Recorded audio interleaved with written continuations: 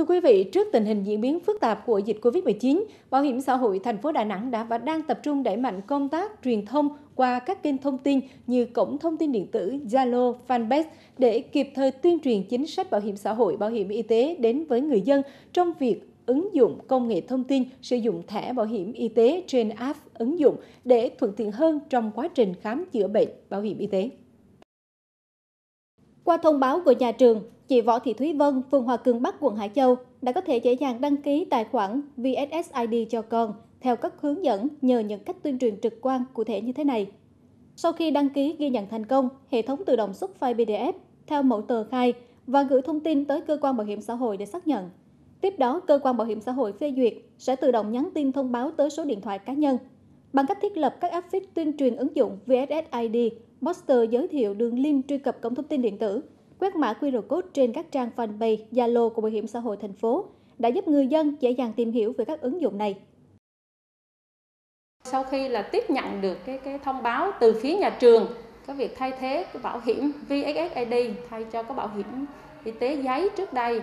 đã, đã tạo điều kiện thuận lợi cho à, phụ huynh chúng tôi cũng như là việc khai báo hộ cho các con và tôi rất là hoan nghênh cái cái việc là nhà trường rất là nhanh chóng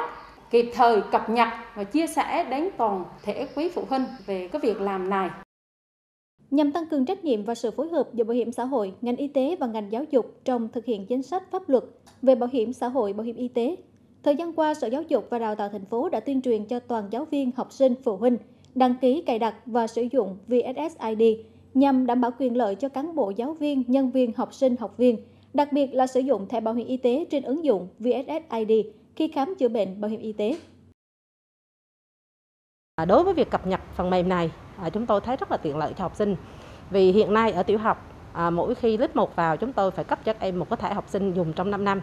Nhưng hầu, hầu hết rất nhiều phụ huynh sau khi dùng một năm là đã bị mất rồi, rất là vất vả cho phụ huynh. Thì như vậy khi cập nhật như thế này, phụ huynh rất là thuận lợi khi đến khám chữa bệnh cho các cháu. À, và bên cạnh đó đặc biệt như cán bộ công nhân viên của chúng tôi à, khi cài đặt xong tất cả thông tin về bảo hiểm xã hội bảo hiểm y tế à, của chúng tôi cả một giai đoạn à, mình công tác đều được cập nhật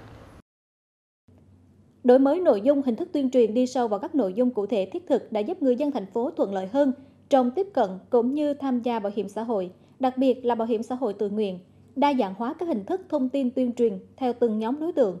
Những cách làm này của Bảo hiểm xã hội thành phố đã giúp người dân, doanh nghiệp, các đơn vị giảm thời gian đi lại, ứng dụng công nghệ thông tin trong xử lý chuyên môn, nghiệp vụ đem đến sự hài lòng của tổ chức cá nhân.